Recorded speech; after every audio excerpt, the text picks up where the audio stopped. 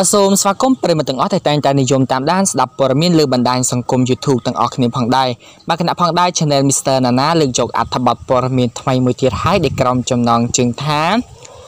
ឈប់យល់ច្រឡំទៅ អ្នកនាងចនច័ន្ទលក្ខណាធ្វើការបកស្រាយសុខាសុខាមិនមានឈ្មោះជាតារាអីនោះទេព្រោះថា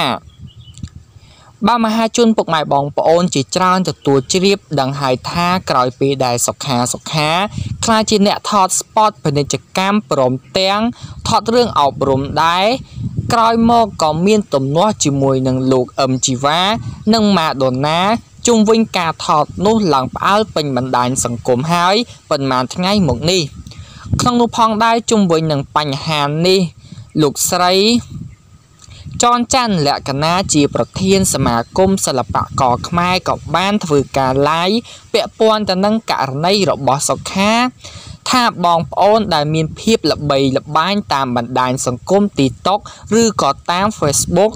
គឺពួកគាត់មិនមែនជាអ្នកសិល្បៈនោះទេ ហើយដើម្បីខ្លាចខ្លួនទៅជាសិល្បករសិល្បករនីដែលទទួលស្គាល់ដោយក្រសួងវប្បធម៌និងវិចិត្រសិល្បៈឬទទួល ស្គាល់ដោយសមាគមសិល្បៈខ្មែរលុត្រាតែពួកគាត់មានជំនាញសិល្បៈច្បាស់លាស់ជាពិសេសធ្លាប់ប្រឡូកក្នុងវិស័យសិល្បៈយ៉ាងតិច3ឆ្នាំឡើងទៅលោកស្រីក៏បានបញ្ជាក់ផងដែរថាចំពោះការគ្រប់គ្រងរបស់មហាជន ចំពោះសុខាគឺមានន័យបើសំទោសគឺ